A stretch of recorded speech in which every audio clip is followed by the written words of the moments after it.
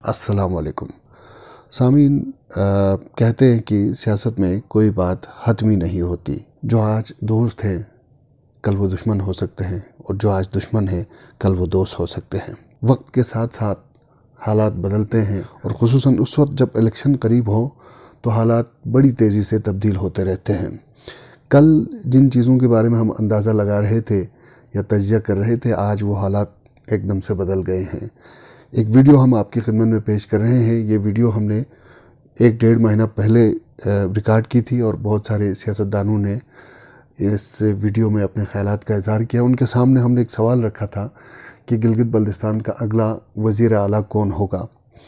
और उस वक्त ज़्यादातर जो सियासतदान हैं उन्होंने जिस शख्सियत का नाम लिया था वो थे पाकिस्तान तहरीक इंसाफ के सूबाई सदर सईद जाफ़र शाह। लेकिन आज की बुरी खबर ये है कि सईद जाफ़र शाह साहब जो अलील थे, वो इस दुनिया से रुखसत हो गए हैं, अपने खाल के हकीकी से जा मिले हैं।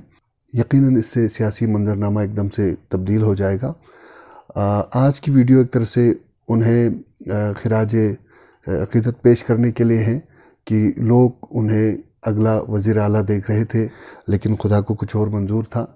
सामीन, यकीनन आप इस बात से मुतफ़ होंगे कि गिलगित बल्तिस्तान की सियासी तारीख सईद जाफ़र शाह के तस्करे के बग़ैर मुकम्मल नहीं हो सकती। आइए हम इस वीडियो की तरफ़ चलते हैं, देखते हैं सियासतदानों ने इस सवाल का क्या जवाब दिया है कि गिलगित बल्तिस्तान का अगला वज़ी अला कौन होगा? अगला वज़ी अला इन सईद जाफ़र शाह। कबल उस वक्त होगा अभी बताना, ऐलान करना। अलबत् इन हमारे रहनुमा हैं इलियास सिद्दीकी। गिलगित बल्तिस्तान के मजलिस वहदत मुस्लिमीन के और वो वज़ी अला गिलगित बल्तिस्तान बने तो बहुत सारे मसाइल भी हल हो सकते हैं और मैं चैलेंज के साथ कह सकता हूँ कि बहसीत सियासतदान उससे ज़्यादा बढ़ कर मैदान में कोई नहीं रहा, ज़्यादा खिदमत किसी की नहीं और विजनरी आदमी है। मेरी ख्वाहिश है, आरज़ू है, अरमान है कि लिहाज से देखे हमारा चेहरा बने और वजी अला गिलगित बल्तिस्तान बने। मैं इसमें देख रहा हूँ पाकिस्तान पीपल्स पार्टी और मुस्लिम लीग का मैं देख रहा हूँ। कमिंग जो सनारियो है उसमें इनकी कोई अलाइंस हो रही है तो नून या पीपल्स पार्टी में से मे भी पॉसिबल आ जाए।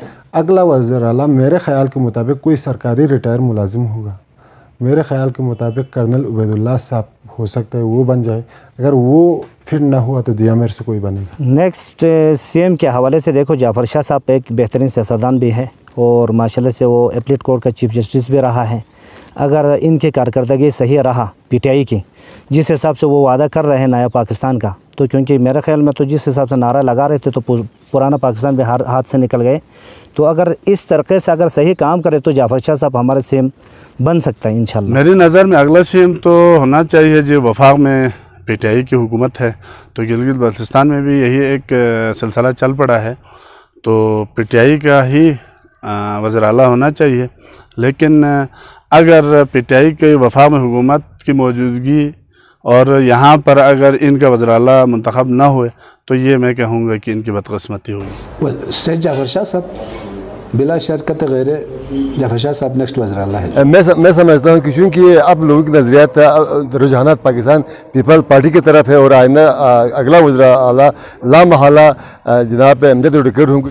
मेरी नज़र में अगला वजरा मुझे खुद होना चाहिए। क्योंकि हर आदमी अगर है जस्तजू की खूब से खूब तर की तलाश होती है होता है फिर उसके बाद अल्लाह के उसमें अल्लाह ताला जिसके ऊपर नज़र करम करेगा वही बनेगा। और जो और लेकिन कोशिश होनी चाहिए कि अहल आदमी को right man for the right job होनी चाहिए। वो पाकिस्तान पीपल्स पार्टी से होगा। हमारा अमजद साहब क्योंकि सदर है वही होगा। अगर फिर कोई मसला हो जाए तो मैं होगा।